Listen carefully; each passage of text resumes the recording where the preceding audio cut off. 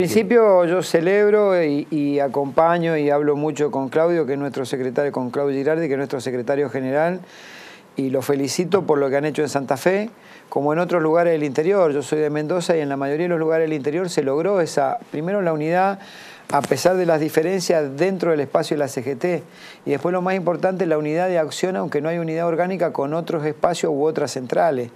Entonces me parece que a esta altura deberíamos estar trabajando en la unidad en la acción mientras eh, vamos amoldando cuál es la unidad orgánica, pero la unidad en la acción hay que trabajar un buen principio. Que ¿Meten muchas trabas para eso de internamente?